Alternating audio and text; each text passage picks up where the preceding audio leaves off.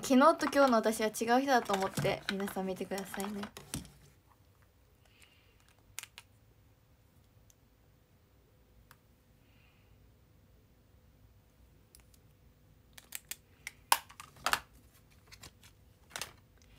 というわけで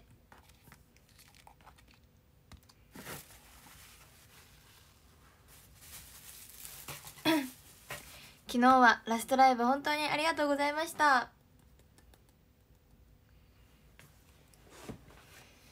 いやマジで終わっちゃいましたね。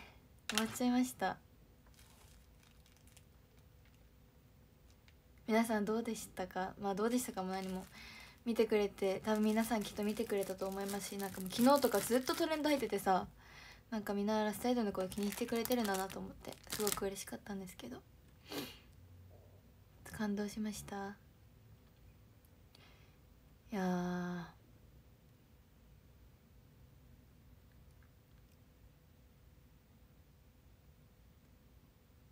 どうでしたか？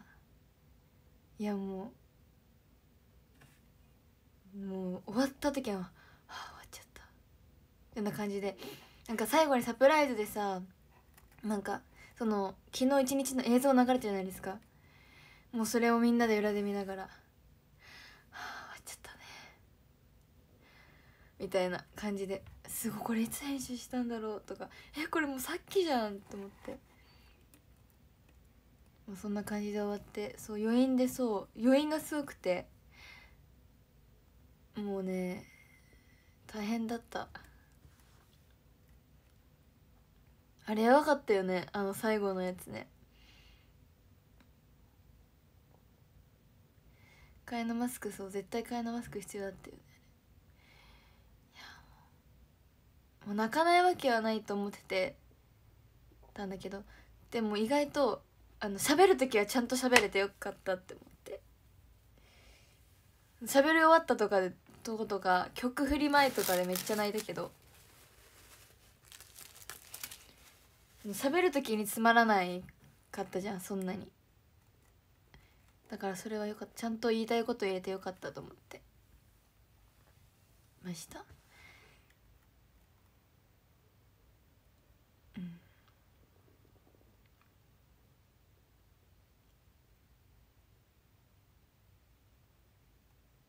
みんな泣いてた？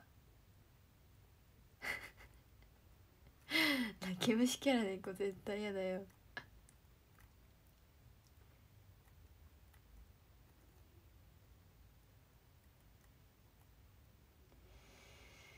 ねなんかもう喋りたいことがいっぱいありすぎてなんか感情がいろいろあってさ何から喋ってるのか分かんないんだけどマジで。白ランディさんラスサイタワーありがとうございます。ありがとう。ありがとうございます。昼公演はセーフ大丈夫だったんだけどもう夜公演の最初のバンドワゴンってか最初のエンジンの時にもうやばくてもう気持ちが。でそれで最初のバンドワゴンは泣きたくないと思ってアンコールでもやるからやり泣きたくないと思って絶対に。でも最初のバンドワゴンはセーフだった。でそっから大丈夫で。そう。だけどまあ CS 見てしゃぶ CS の完全版に映るからあれなんだけど映ると思うからあれなんだけどアンコールの前にさアンコールの前の待機のところでそこで初めて泣いちゃったの。そこでもううわってなって。そしてバンダーゴンのさあのあのストリングスバージョン？のやつ最初一人で歩く歩くとこあるじゃん。それ映ってた？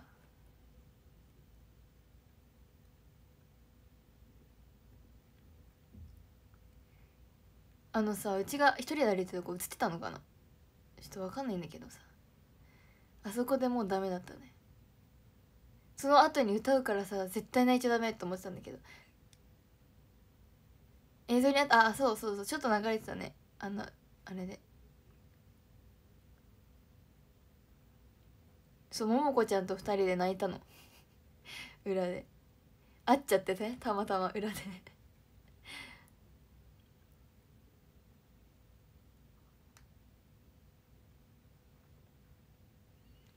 あの演出の意味分かりました？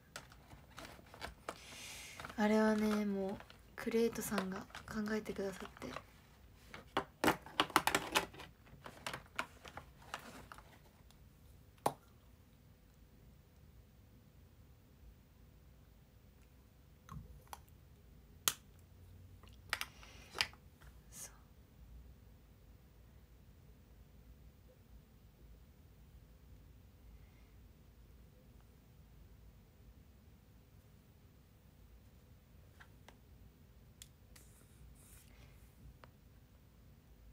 モーナちゃんが踊ったって若菜ちゃんが踊るあそこはあのモーナちゃんと若菜ちゃんのバトルを表してますだからあのみんなあの自分がバトルの時に踊った振り付けをやってるんですよあれ。あのその演出に参加した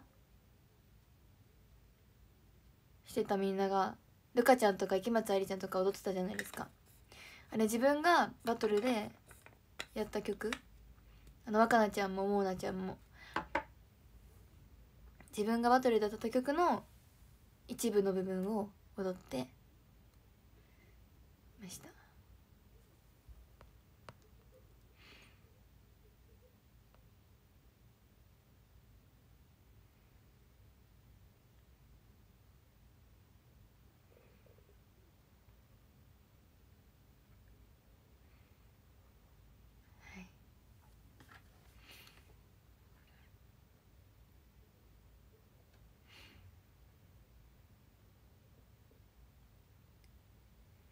そう。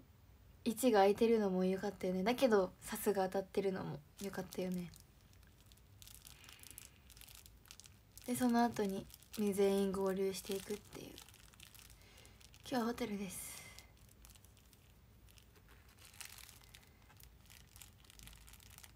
いやでも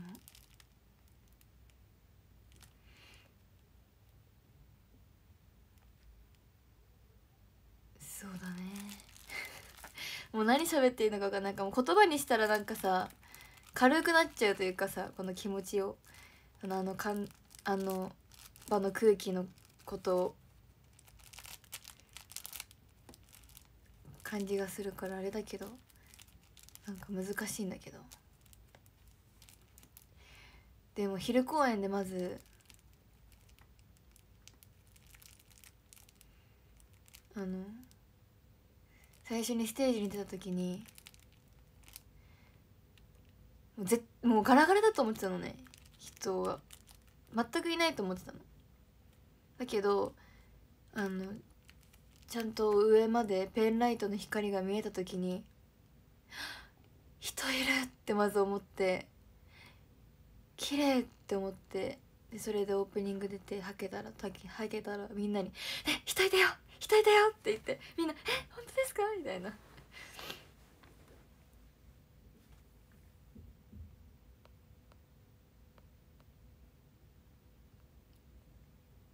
言ってで夜公演はもっとさらにさももう一個上の階までさ人がいて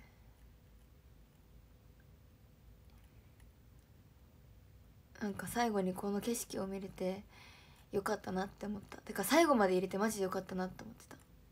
思ったねその時。サッピーさんラスサイトはありがとうございます。ありがとう。ありがとうございます。そう5階5階までいてさ5階という名の4階みたいな感じなんだとなんだけど。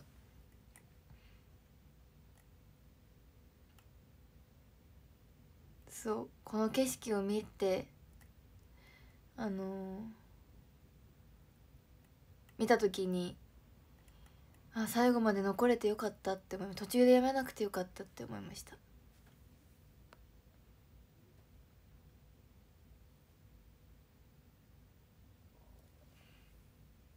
そうだね。4年4年間5年間やってきて無駄じゃなかったのかもなって思いました。ね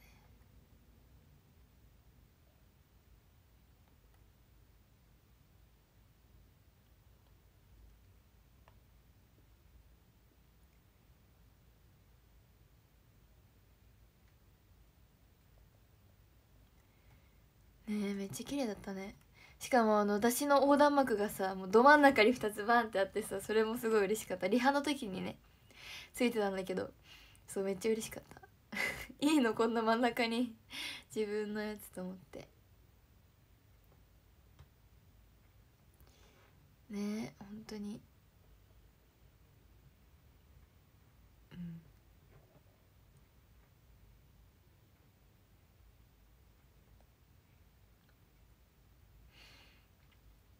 そう初めての人もね夜公演で初めての人って言ったら結構な人数の人が手挙げてくれて。なんかそれも嬉しかったですね。最後だから来ようと思って来てくれた人もたくさんいるんだろうなと思って。うん。後ろにあかね先生いた。そうなんだ。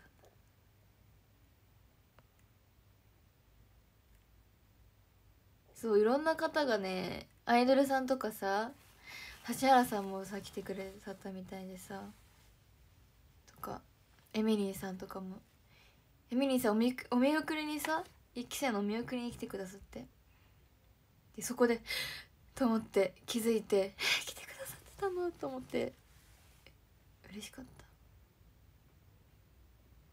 元メン元メンバーのみんなも来てくれたりとかそう後藤さんも来てくれてその夜公演の前に挨拶して写真撮ったりして。あともう超昔の番組の時のディレクターさんとかも来てくれてて。もう懐かしいと思いながらお見送りとかしてて。なんかいろんなことあったなって思い出しましたね。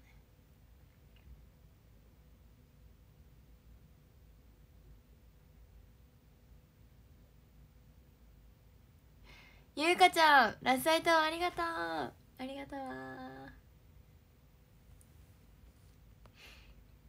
人生昨日が今までの人生で一番楽しくて一番寂しかった。いやわかるな。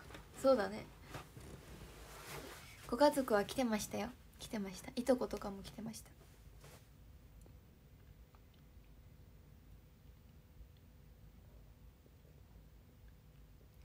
もう昨日は本当にすごい一日だった。もう休みなくずっとバタバタしてて、うん、だからあっという間に終わっちゃってなんかやっぱり曲とかももう次々次々って感じだからなんかもう最後までこれが今日最後やるんだん？この曲やるの今日で最後になるんだっていうのをかみしめる暇もなくどんどん過ぎ去ってっちゃった感じなんですけど、うん、でもやっぱ最後のアンコール2曲はやっぱりやっと実感できたというか最後ということ。ね。いやそうタイランドのプロテアの皆さんがき来てくださってもうねめっちゃ可愛いんですよ。なんかそう頑張って日本語を覚えてくださったりとかなんかすごい好きっていうのを伝えてくれて本当に嬉しかったまさかさタイからわざわざ来てくれるなんて思わないじゃないですかだから来ますって言った時に「え嬉しい!」と思って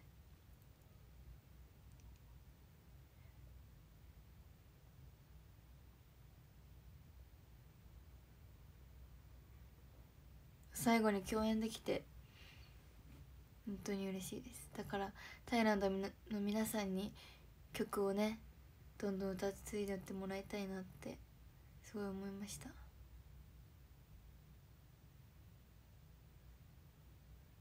でお土産もいただいたんですよ。でタイのズボンもらったのパンツ？ズボンもらってそれ私はあのリハーサルの前日に頂いてその当日履いていきました。でみんな結構半分以上のメンバーが多分そのタイパンツを履いてあのリハーサルしてました。みんなお揃いで。リボンさんラサイタワーありがとうございます。ありがとう履き心地いいよね。そうめっちゃ履き心地よくて軽くてね。だからあのみんな多分リハーサル映像とか上がるんであみんなあのそれのズボン履いてると思って見てください。そうタイランドのプロテアの皆さんも履いてるメンバー履いて帰ってるメンバーさんいてそう。超楽履いてて。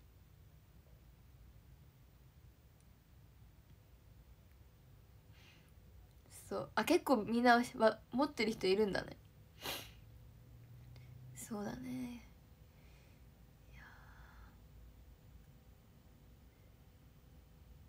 でも何を喋っても昨日のなんか昨日の熱というか昨日のあの空間の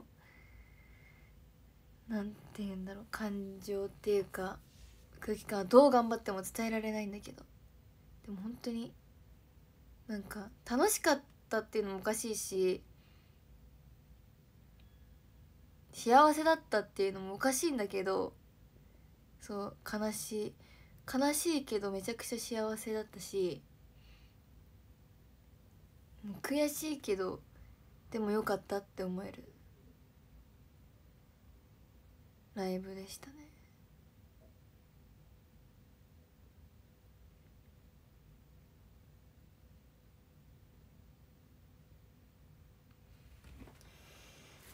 うん、でも本当に出し切ってなんかもう超全力でやりました。超全力でやってもうマジで疲れたしマジで途中死ぬかと思ったぐらいだった。タジオさんラサイトありがとうございます。ありがとうありがとうございます。だけどもう悔いがないように全曲悔いがないようにしたいなと思ってもうトレインとかマジで全力でラスサビとかマジで全力で踊ったしそうブレレとブレレキャラとアイシルっていうもうもうやばい瀬取りだったんだけどでも全部手抜きたくなかったからもう本当にあの「愛を知る」とかもやばかったんだけど頑張って。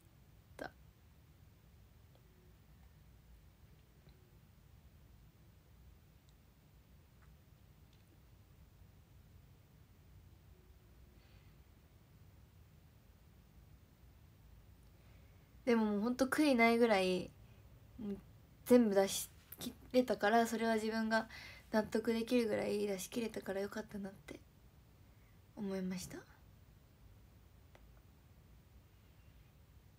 なんか昨日は綺麗にやろうっていうよりももうとにかく感情をいろいろ悔いないようにいろんな感情を出そう出し切ろうと思ってもう気持ちでやってました。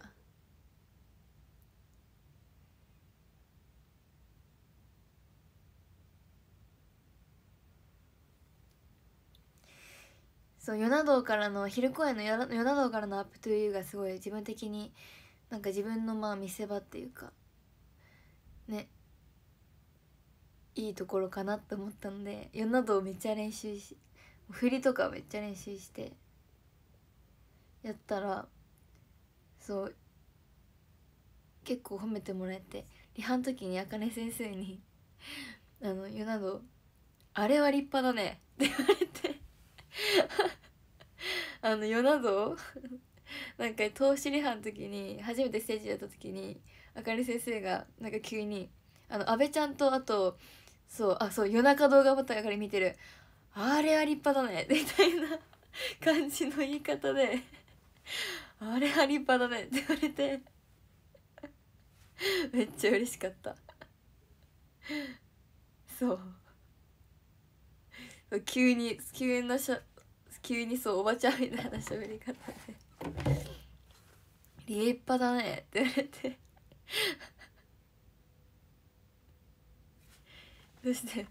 めっちゃ笑ったけどめっちゃ嬉しかった。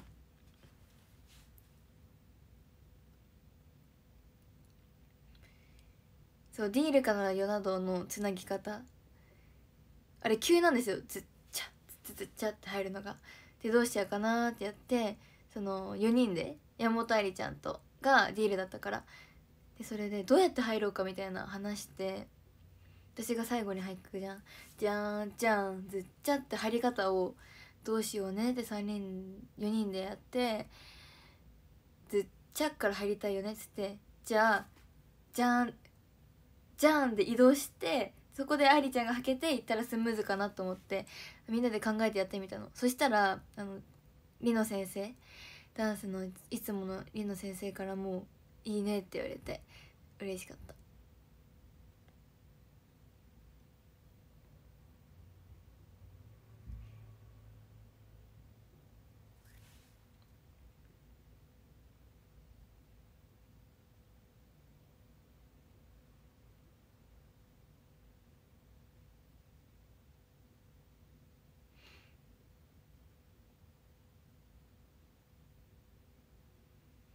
つなぎってメンバーがえ大体大体っていうかあのー全部先生に決めてもらうんだけどその与那道からのつなぎはうちが土地で入ってきてっていうとこまでしかやってなくてでもなんかやりづらいねってなってそうメンバーで固めてたって感じ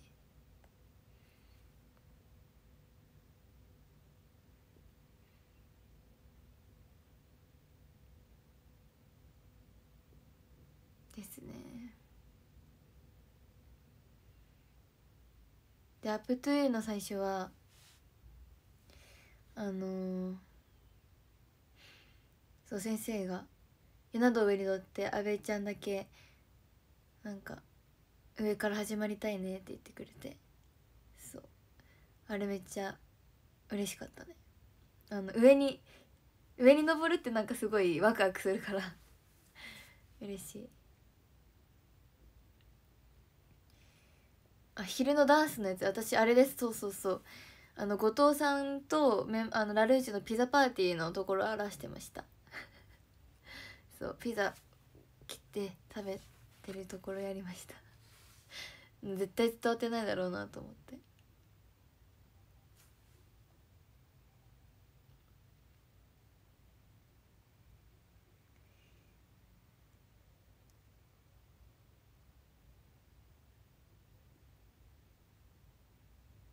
ピザパーティー。そう。みんななんか悔しいとかだったけど私はピザパーティーで表しました。あ分かった。私のファンの方は分かってくれるね。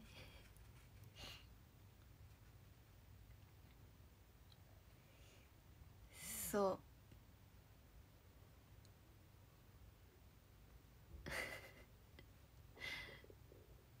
そう「M ステ」の階段のやつもねやれて嬉しかった。今回のさステージのセットめっちゃ良かったですよね。なんかキラキラしてて。あとさ火がブワーってなるやつとかさすっごい嬉しかった。あのねみんなでそのステージ続いてまずステージに上がった瞬間に上がった瞬間にみんなキャーみたいな。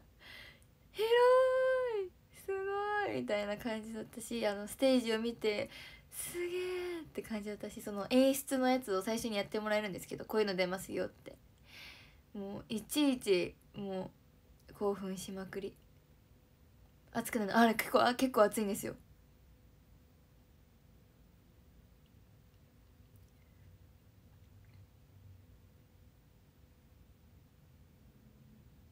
火はね実際熱いんですよ。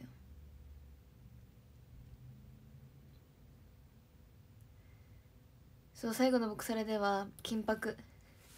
金箔って言われて。絶対横浜じゃなくて本当にえ マジで？マジで？マジで？マジで東京ガーデンシアターで広い会場で最後できてよかった。朝明日もあるんですけどでもちゃんとなんかあの一番広い会場できてマジでよかったです閉鎖の時暑かった。暑かったよね。しかもうちその時さブレイカーレックの青着ててさめっちゃ暑かった。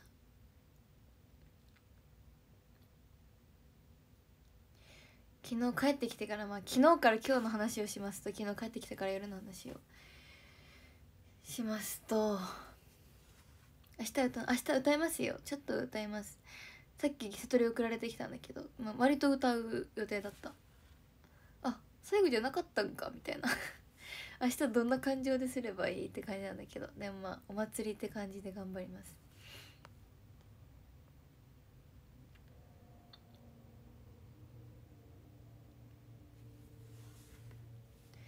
で昨日帰ってきてからはあのマジでなんかずっと自分の目がずっとこんなもうずっと半開き。ずっと半開きで眠いのとなんかもう虚無感で。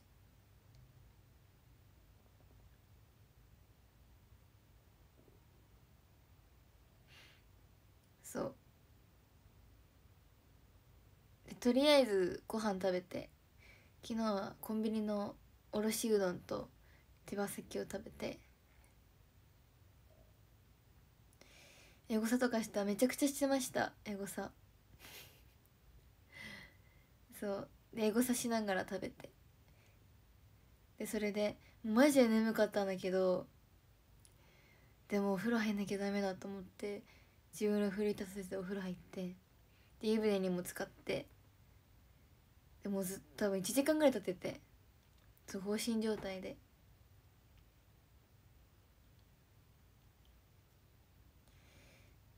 でそれで携帯見ながらやってで寝て寝てね今日起きたのが11時ぐらいだったんだけど11時に目覚まし設定したんだけどで起きたのね。そしたら11時11時じゃん。起きたらそしたら「えやばい寝坊した!」ってなったの。やばい寝坊したってなって。今までずっと毎日早起きだったからえやばい寝坊したってなって。それで一瞬焦ったの。あだけどあ終わったんだった。終わったんだったってなって。それでなんかかなり寂しくなった。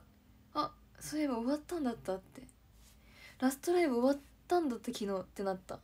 そうみんな言ってるよね。そうみんなえ同じと思って。寝坊したってなって。それでえどうしようってなって。で気づいて気が付いてあ昨日終わったんだった。切な。ってなった。そう。でなんかゆっくり起き上がっゆっくり起き上がってはない。あそうだったってなってとりあえずエゴさして。そう。で朝になってもあまだトレンド入ってると思って。でみんなのツイートとか見て。そしたら昨日めっちゃ泣いたからまず目目が腫れてて。今は治ったんだけど。そう。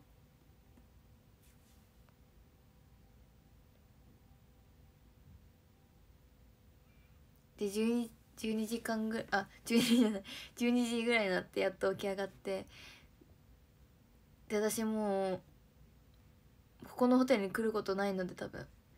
でもうあさあさって帰るんで明日終わったらもう帰るんで。あ荷物ま荷物まとめなきゃと思って。あ荷物まとめなきゃと思って段ボール大きい大きいの2箱分の荷物を詰めて家に送る作業をして。でもそれで悲しくなったよね。ああもうもう帰るんだと思って。でも偉いよね。ライブの次の日。すぐ荷造りするって。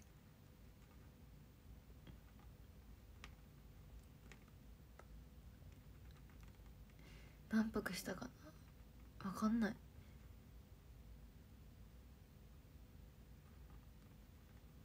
そう。でその後にその後ね出かけたの。買い物に行きました。普通に。通に渋谷にね買い物行ったらあの普通に歩いてたら話しかけられてしてなんで話しかけてかけられたか忘れないけどなんか誰から話しかけられたと思ったら米田ミーナだった。ミーナちゃんとルナタスがいてで「え？みたいな。あのそう。2人がいて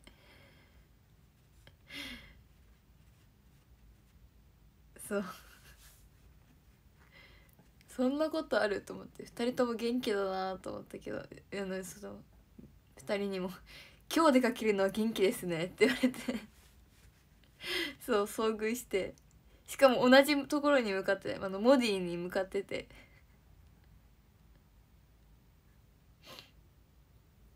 そう「今日今日出かけるのは元気ですね」って言われて「そうだね」って言って。それちょっとだけ歩いて。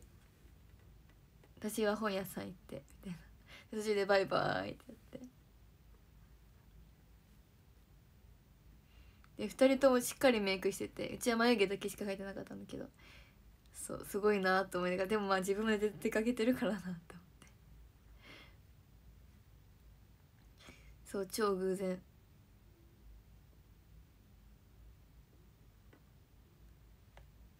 そうで私はその自由に行ってちょっと服買って。でゴンちゃんでタピオカを買ってしかも L サイズ。あのサイズアップフリー使えたんで。あのゴンちゃんの L サイズにのマンゴーアリサンティエードにナタデココとタピオカトッピングして飲んでそれが今日初めての食事だったんだけど食事にしたんだけど。意外と普通に過ごしてる。あそうなのよ。意外と普通なのよ。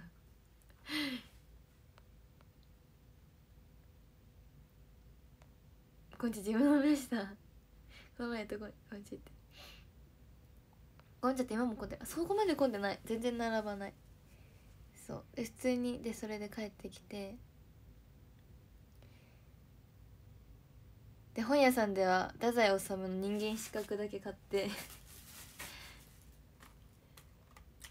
帰ってきて。でそしてで昨日ねお昼公演見に来てくれた友達がいたんだけどそうわざわざね来てくれて。でその子からちょっと LINE LINE やってそれで。で今度電話しようって言われたんだけど。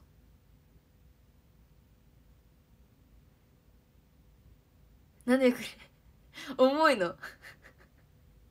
なんかずっとね、読みたいと思っててで何何回か探したんだけど探した時になくてでそれで今日たまたま目に入ったからあ今買おうと思って買ったの。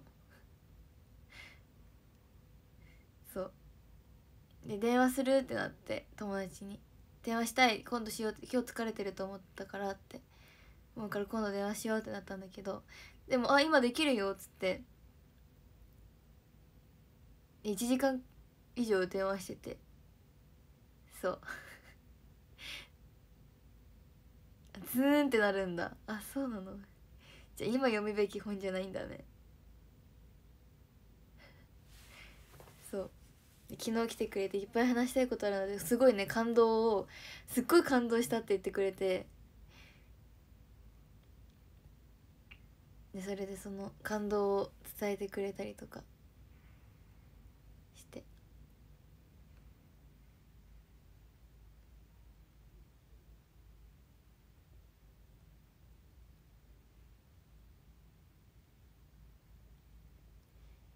そう嬉しいよね。であのショールーム見て見るねって言ってくれたから多分。そう見てくれてるんだけど。でそれでさあのマジで6月から本当に人との関わりなくなるからなくなるんですよ私が。でそれでだから6月暇だよっつって。で遊ぶ約束しました。そう。ちゃんと日程決めるとこまで行ってさっきね。本当に何年ぶりかに何年ぶりかに。そう。みんな祝福してくれてる。そうなんですよ。どこ行くかはまた今度決めようってなって。よかった本当に。そうみんな私のその人間関係なんでなんていうの？友達関係心配してくれてるじゃないですか。だからその成長をね届けよう届けようと思って。私友達少なくて本当に2人しかいなくて連絡先してるのも2人しかいなくて。そう。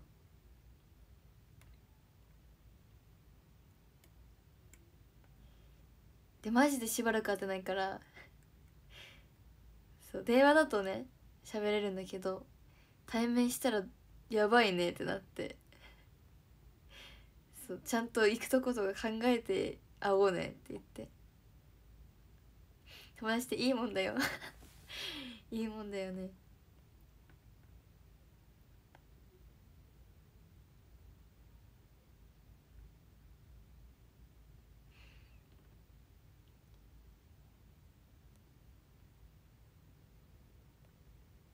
そうそう。なのでそんな感じです。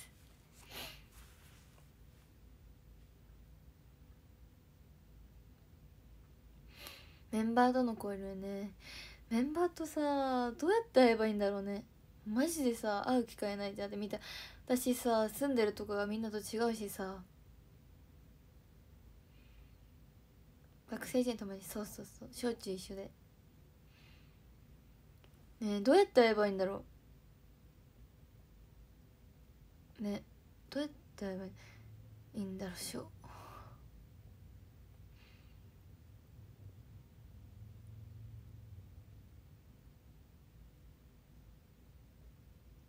ラストアイドルツイッターかね。それで今日てかマジさっき知った真実があって。ショールームもツイッターもそのまま使えるって。みんな。ショールームもツイッターもラストアイドルのアカウントのまま使えるって。衝撃の事実。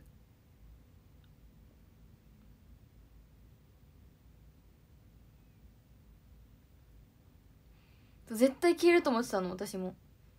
消えると思っててそしたらショールームもツイッターもあのプロフィールとアイコン変えてそのまま使えるって。よっしゃーって感じだよね。そう。ツイッターさあのフォロワーさんの数が全然違うわけですよ。だからあのラストアイドルのやつを、ま、主体にしてマネージャーさんともさっき話してっていうかどうしますかって言ってあのラストアイドルの方のやつを主体にしてでも今使ってるパックスのやつもちゃんと残しはするけどって感じで。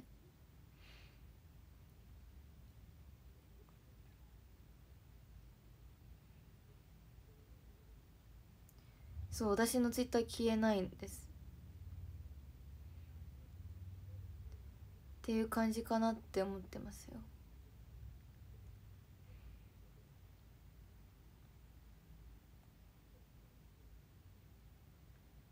裏垢にできるそうサブサブみたいな。さなんかでも難しいんだけど。でもそうです。なんか使い分ける必要ってあるかな？って感じで。私使い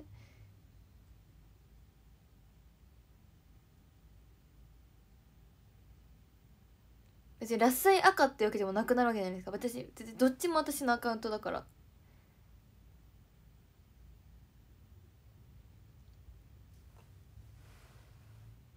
になるってことだからさそうそう。別にどっちかでツイートしてそそれもそれをリツイートしたりとかしたりするかなっていう。感じかな。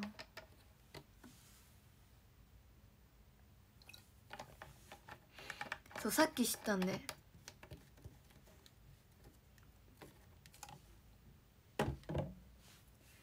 別に使い分けても見る人見る人一緒だったら別に使い分ける必要もないしさ。って感じです。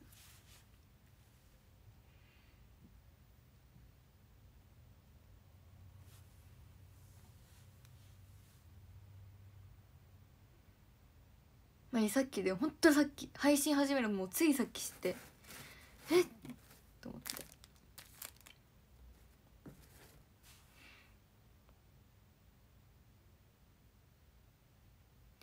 そうショールームも。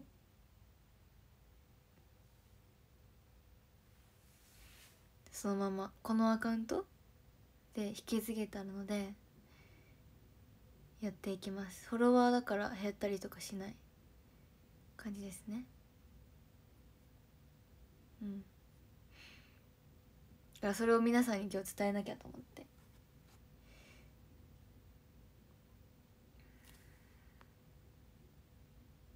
一七のアカウントは分かんない。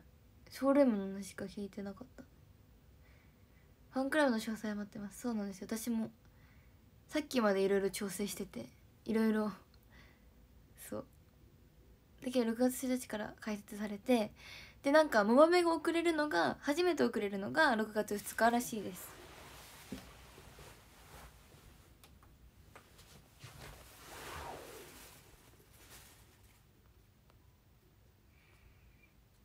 じゃあメンバーと久しぶりってコラボ配信できるんだ。できるんだと思う。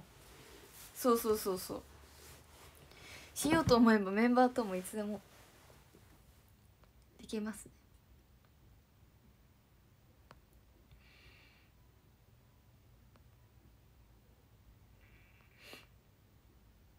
アカウント消えたらほんと寂しいのでよかったです。ね。本当に引き継げてよかった。あてかこのあと10時半からさっき栗田真央ちゃんから連絡が来てて10時半ぐらいから15分ぐらいコラボ配信しませんかって来てもちろんいいよって言って10時半ぐらいまでやってから一人でやってからその後栗田ちゃんとまたコラボ配信します。なんかね質問とか考えててくれたみたいで私と次あのショールームした時にのようにあの質問考えてたんですって言ってくれてて。そう。そうほっといてかあ分かったの。私ほっといての映像見てなくてさ。そうほっといての話でもねあるんだよね。そうほっといてペア。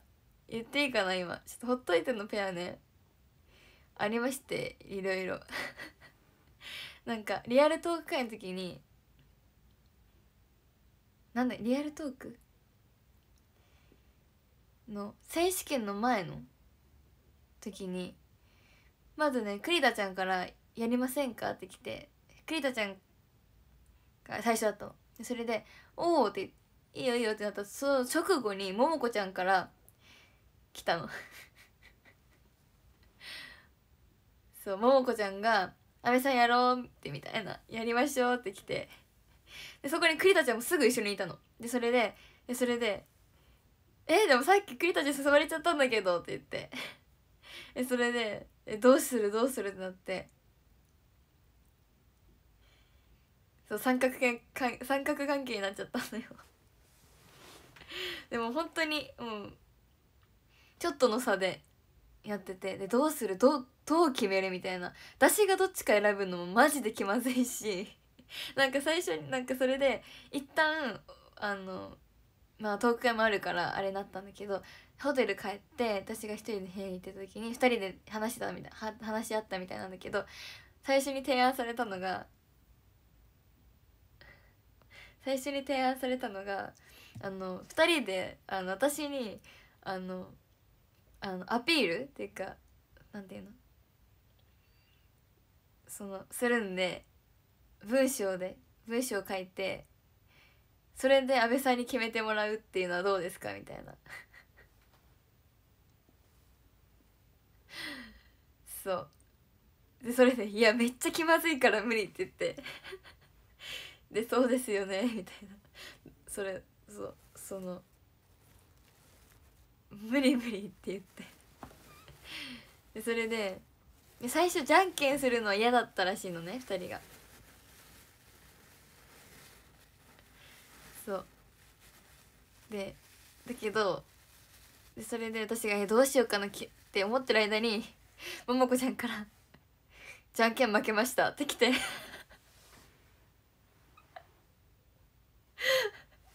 じゃんけん負けましたって来て。結局2人でじゃんけんで決めてて。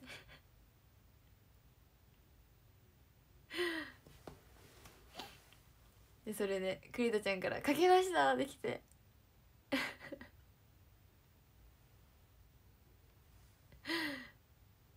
そう。でそういうあれがあったんですよ。ストーリーが。ほっといての中にも。ほっといてのあの選手権の裏にもあったので。あって。めももこちゃんすごい落ち込んでもうズーンみたいな。沈んでましたね。で結局で栗田ちゃんに任せた任せたって言ってあの当たりくじのやつやってもらったけど結局外れちゃったんで。そうあれだったんですけど人間ドラマありすぎ。そう。そう選手権そう。ペアをみんなでまず作ってからそう代表者がくじを引きに行って抽選にしに行ってで選ばれたのが山本愛理ちゃんとあゆみちゃんのペアと高井美穂ちゃんとゆうきちゃん奥山ゆきちゃんのペアと我ちゃんとはたちゃんのペアっていう。ねでもすごいバランスいい3組選ばれたよね。なんかど何がバランスいいのか分かんないけど。おおってなって。ななったよね。あの選手権はほのぴーが発案してね。あのあれからの当たりくじの流れも楽しくてよかったですよね。あそう。山ももこちゃんがすっごい落ち込んでて LINE でももうすっごい悲壮感すごい絵文字とか送ってきて。そしてマジショックですみたいな来たから。じゃあお茶漬け行こうっつって。結局まだ行けてないんだけど。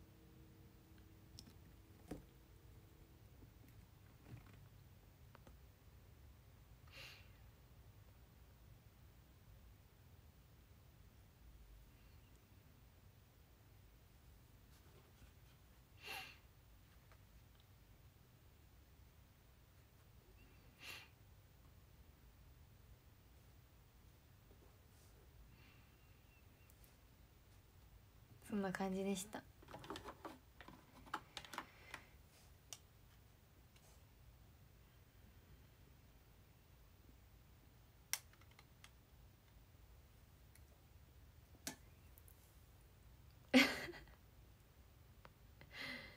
えー、ももこちゃんとどうやって会えばいいんだろう。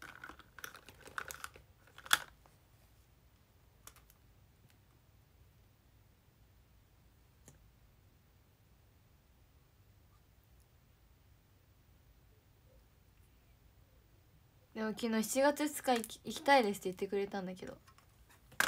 東京ですよねって。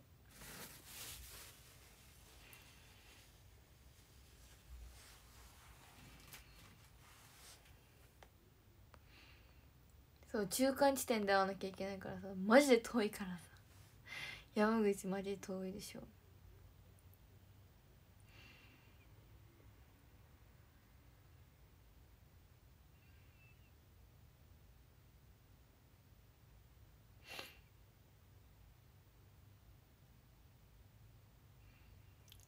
ゲストで呼んであっちは聞きたい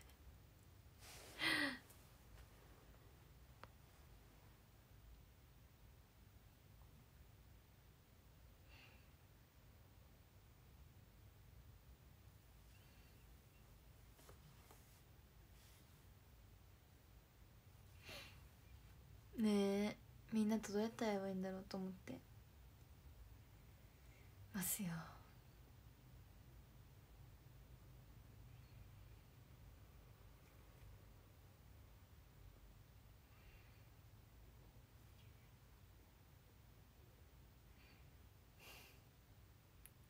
山勝くんで中間あたりの山梨はどうでしょう？確かに。いいね。山つながりね。同窓会とかやりたいそう。やっぱ打ち上げとかやりたかったな。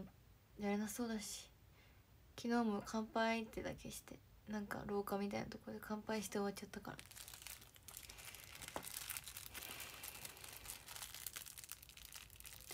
明日の配信時間25時まで延長されたよね。そう。1時ってことでしょ？でも明日の1時にそうツイッターのアカウントアイコンとかも変えなくちゃいけなくて。何のアイコンにすればいい？ないけど写真。今から考えなきゃね。どうするかっていうの。アカウントそうアカウントさ残せることになってどうすればいいんだろう。そうなのよ。配信できそう？配信やろうかな明日も。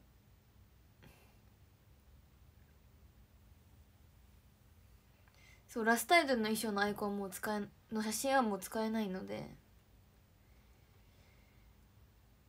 あラブソングの時に撮った写真とかでいいか。とりあえず。で多分きっと6月にあの写真ちゃんとした写真撮るから。そしたら変えようちゃんと。とりあえず仮でいろいろやります。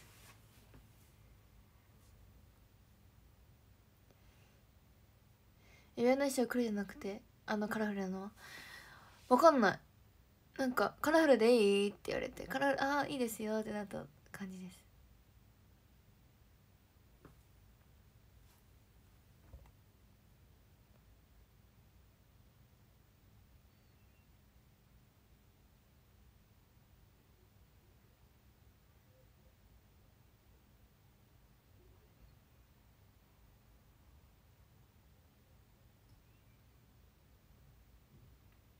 カメラロールの写真全部見せて載せて。大変なことになっちゃうよ。もう。5日間ぐらいかかるかも。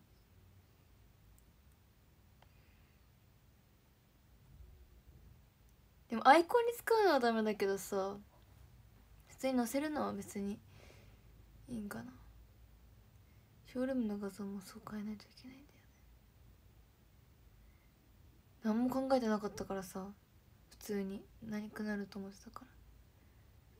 サバイバの衣服ってラサイナ衣装の扱いないの？なんないと思う。だって私のあれ私服だもん。私が買ったやつだから。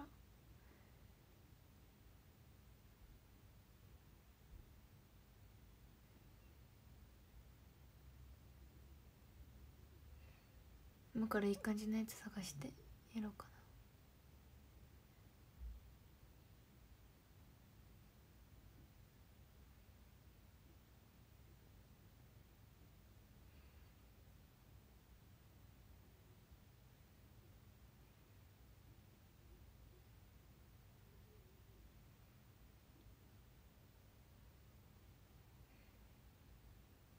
なまあとりあえず急い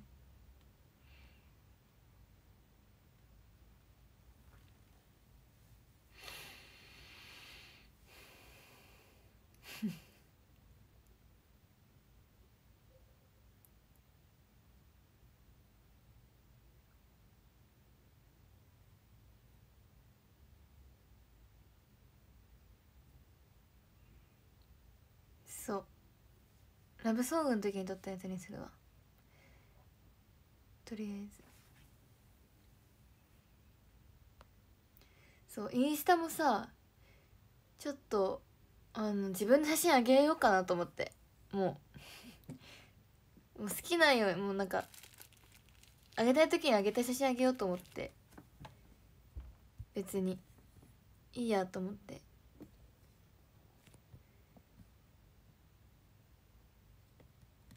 絵もあげるし自分写真もあげるしなんかもっと自由にしようと思って。あげれるか分かんないんだけどね。マジで。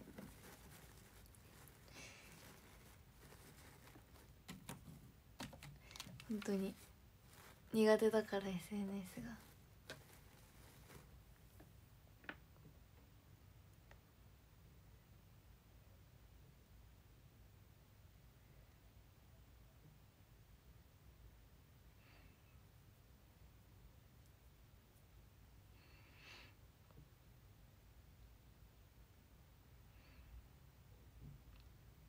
そう。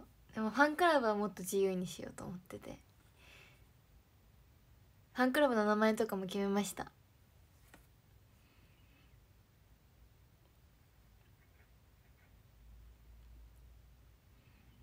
私もどんな感じになるのかあんまり分かんないんだけど。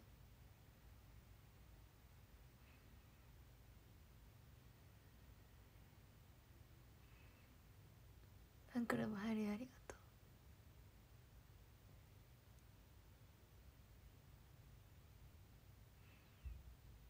さっき電話してお友達もファンクラブ入るって言ってくれて。そう。うちいいつ発表されるとかマジで知らなくて。明日か明後日だと思う。明日かな。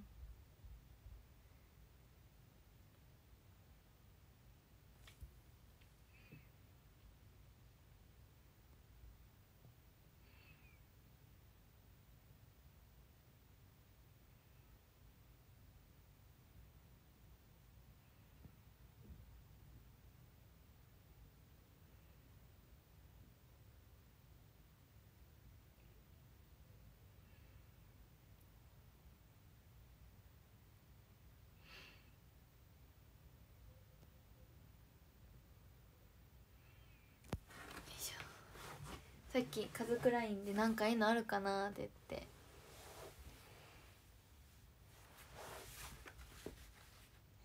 でも2つコースがあるので2つとも名前を違くしてやりました。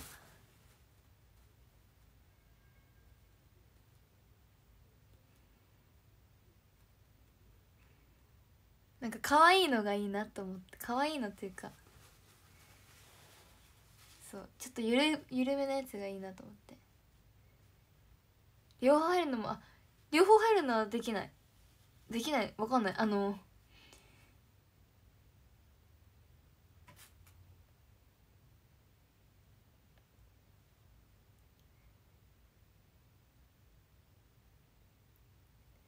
両方入る意味意味がないです。はい。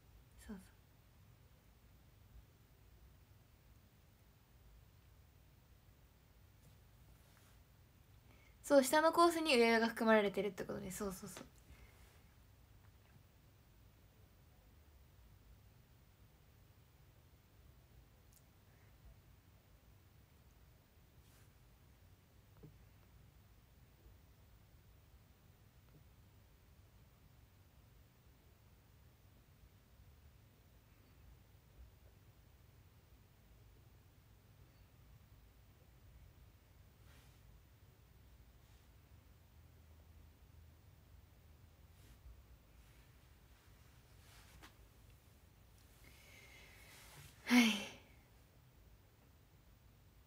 なんか昨日ライブしたとは思えないわ。なんか。昨日あんなに。昨日はキラキラしてたよねさすがに。あの白い衣装着て。でもあれがなんか最後かと思って。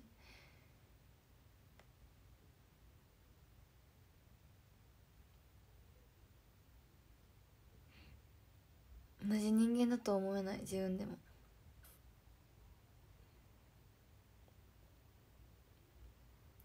ありがとう。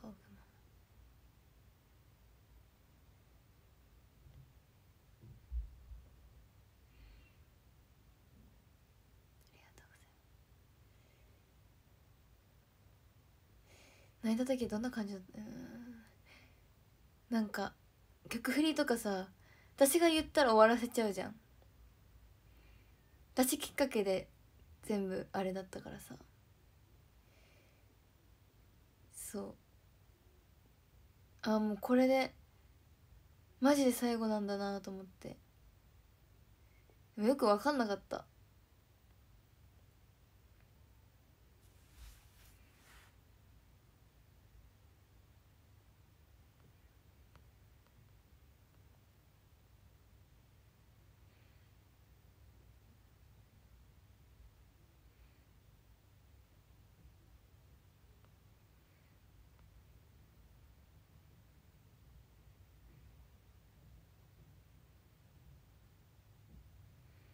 当に立派なやつやってよ。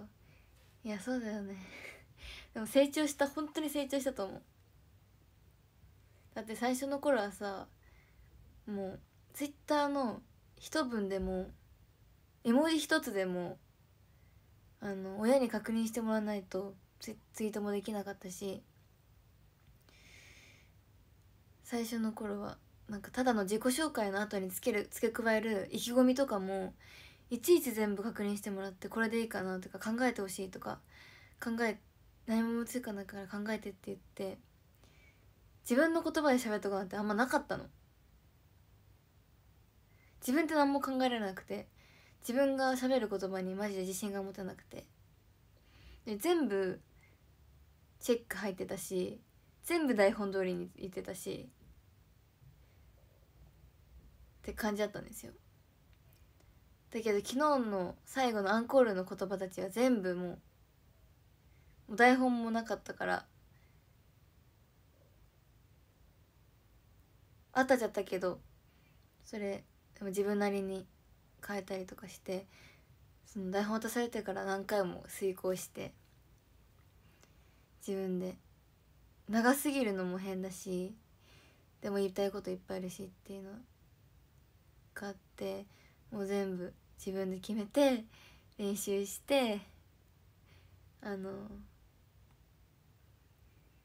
本番でマジで言えるか分かんない。全部飛んだらどうしようと思ってたんだけど。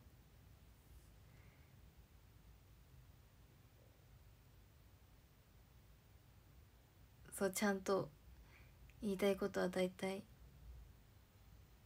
言えてなんかそれだけでマジで5年間でめちゃくちゃ成長したなって自分で思った。ちゃんと自分の言葉で。そうなんか最後の挨拶とかさ挨拶にかかってるっていうかさ本当に最後じゃんそれが。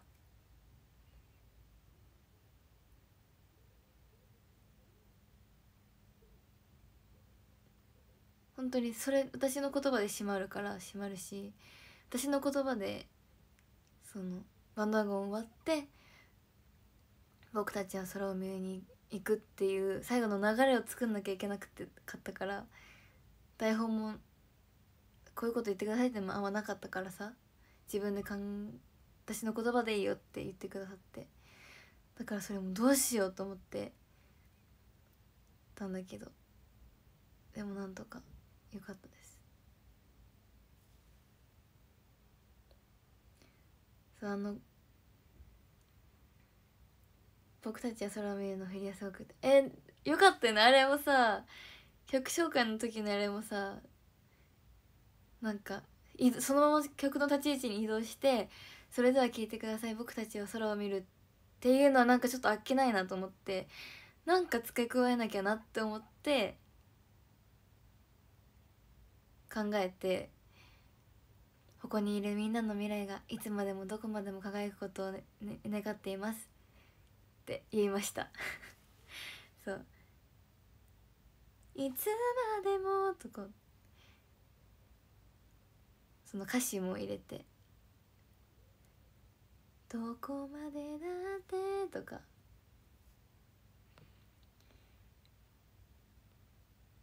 曲につながるように振りたいなと思って。やった。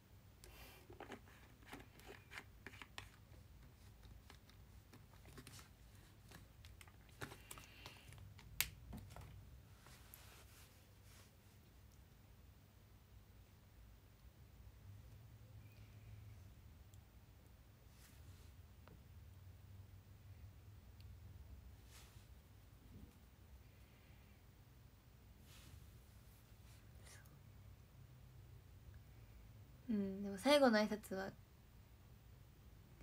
みんなのこれから？のことを言って終わろうと。これからもみんな応援してくださいっていうのを。めっちゃ難しかったんでね。その曲の前にも喋るし曲の後にも最後に喋るからどう使い分けようと思ってあれだったんだけど。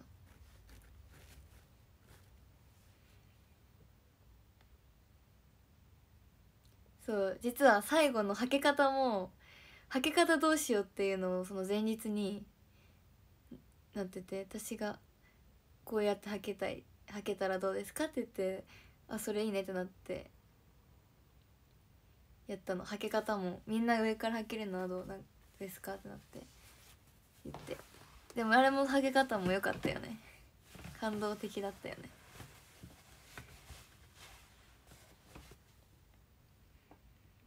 最初普通に昼公演と同じ上下で履けるとかなってたんだけどいやっていやそれはちょっとってなって。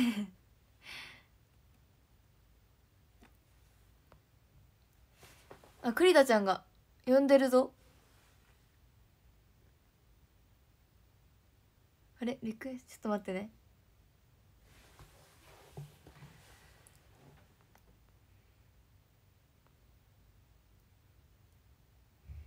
入ってきてもらえますかって言ってるからさちょっと今からちょっと今からランキング読むのでそれ終わったらちょっと一回切ってコラボ配信しますね。じゃあいきます。13位そやさんありがとうございます。12位加藤さんありがとうございます。11位アリスカさんありがとうございます。10位岡田さんありがとうございます。9位ゆりさんありがとうございます。8位しげるさんありがとうございます。7位たじぼうさんありがとうございます。6位ゆうかちゃんありがとうございます。5位リボンさんありがとうございます。4位はじめさんありがとうございます。3位しろらんじさんありがとうございます。2位サッピーさんありがとうございます。そして1位はバカラさんです。ありがとうございます。ありがとうございます。ちょっとじゃあ今から栗田ちゃんのところに行ってきます。じゃあまたすぐ後で。ありがとうございます